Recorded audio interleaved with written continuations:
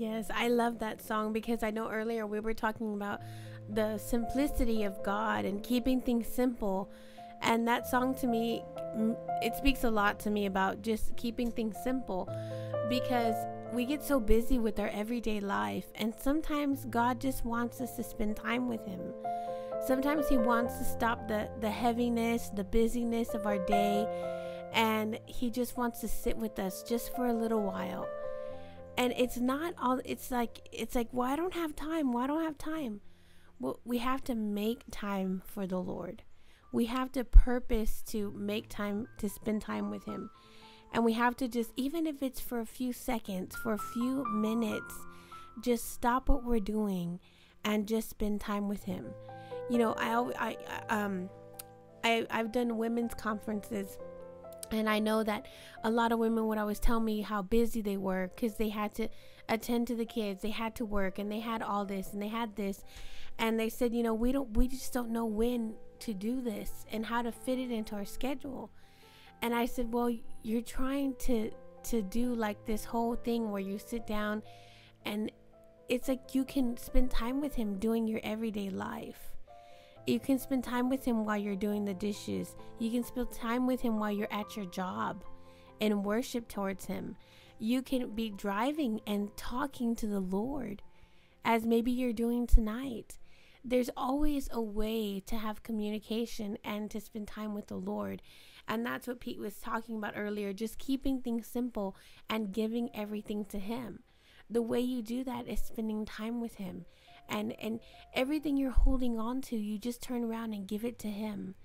And it's in those intimate moments with Him that you spend that you just begin to just give everything you have to Him.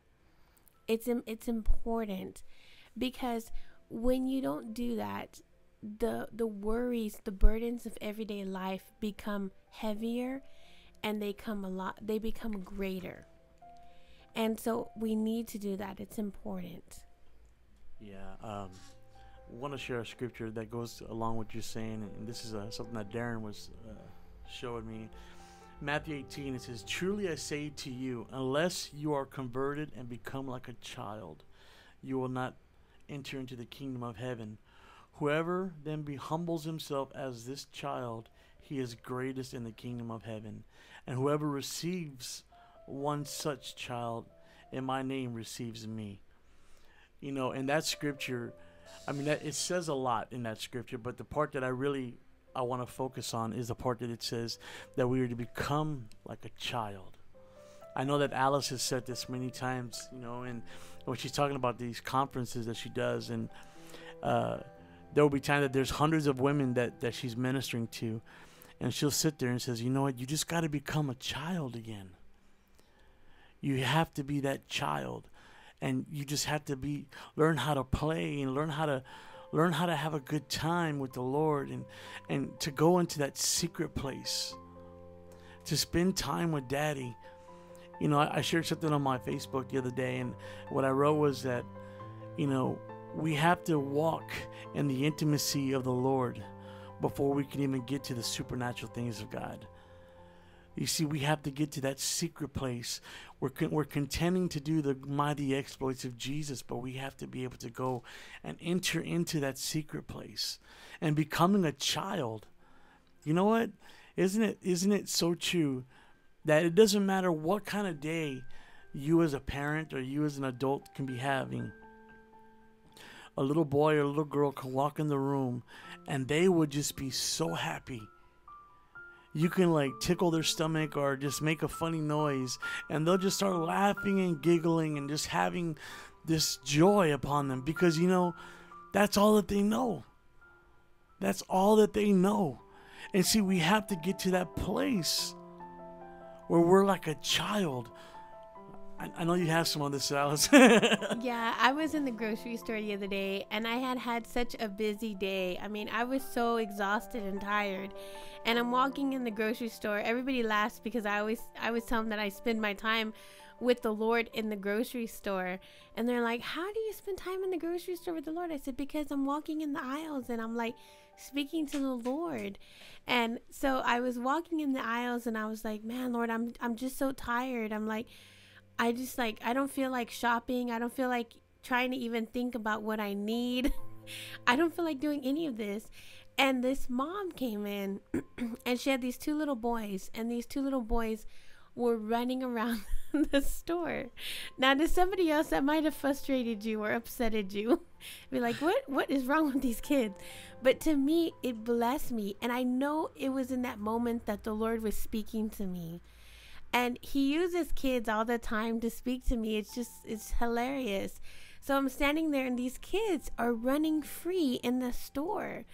And they have this freedom and this joy, like Pete was talking about. And they were like, trying to check out the toys and they were like you know they were brothers so they were like uh like playing tag and they were like having such great joy and and that's exactly the way we're supposed to be and it reminded me of of being in heaven and spending time with the lord and how happy uh, you can be when you're just with the lord. It's like it's like you forget about everything in that very moment. Everything that is going on in your life is forgotten at that very moment that you're free with him that you you just are just there like going somewhere with him. And it's like he wants to be your hero today and that day he was my hero because he swooped in and he he picked me up and he took me somewhere. And i remembered why i did what i did. And it didn't matter if I was tired or if I had had a bad day because what mattered was that the Lord showed up for me in those kids. And I remember laughing and laughing at the kids and just and just having this great joy. And right after that I felt this supernatural strength in my body come.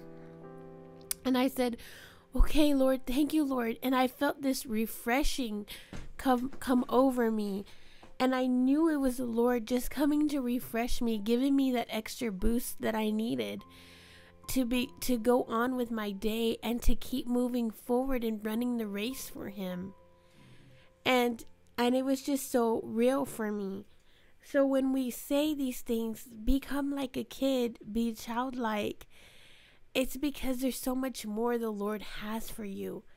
And it's not an everyday hustle bustle, gotta make the money, gotta pay the bills kind of life. It's like, yes, we get caught up in that very easily, but that's not the kind of life Jesus wanted for us. He wanted us to be filled with joy and happiness and and know that he shows up every day for us.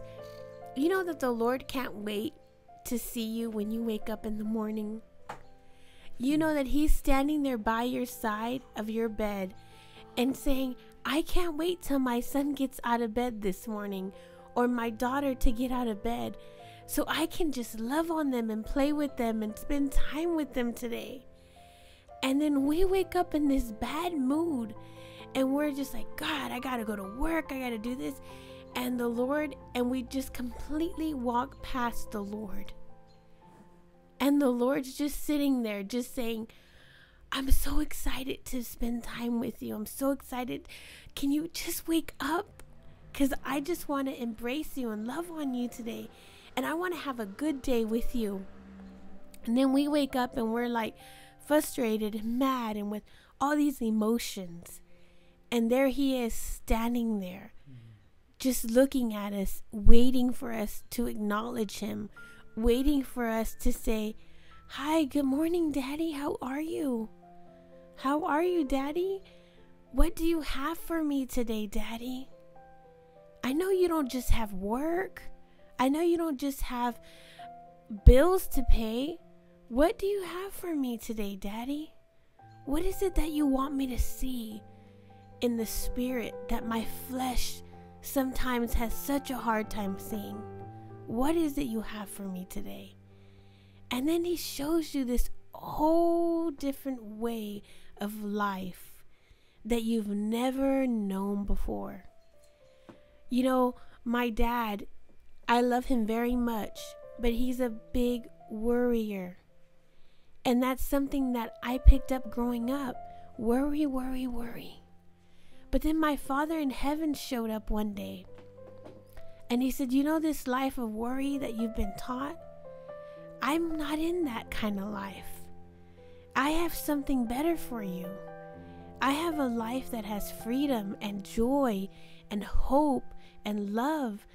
And you don't have to worry anymore because you don't have to give me your burden. You don't have to carry those burdens anymore and those worries. You can give them to me. And you know what?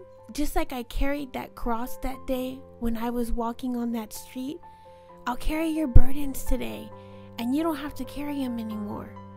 Just give them to me. And some of you are saying, but God, maybe you can't, maybe you're not strong enough to carry my burdens. Oh, He is.